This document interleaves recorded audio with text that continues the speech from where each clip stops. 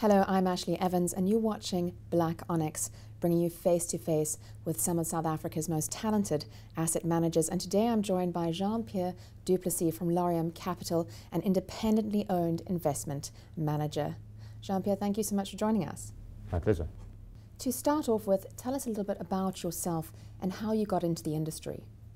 Um, I've been involved in fixed income markets for a little over 20 years now. Uh, I'm a graduate from the University of Cape Town, uh, CFA charter holder. I started my career in London, uh, working in an investment bank. And then 10 years ago, I moved back to, to Cape Town, uh, where I worked for Prescient, uh, also in fixed income, managing fixed income assets. And I joined Laurium at the start of 2019. Tell me about Laurium Capital.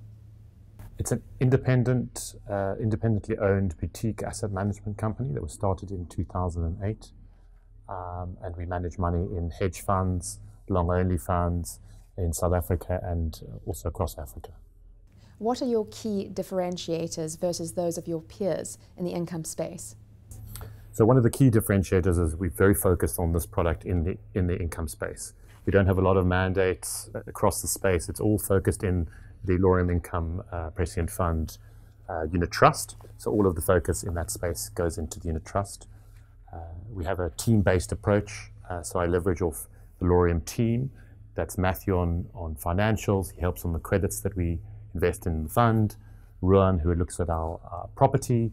Uh, he helps on the property exposure. Menzi, who's a quant, will help me on, on the quant side. So it's a, it's a team uh, team-based approach. My uh, background is is both offshore, as I mentioned, and local. So ability to generate returns in, in kind of both markets that we have access uh, access to.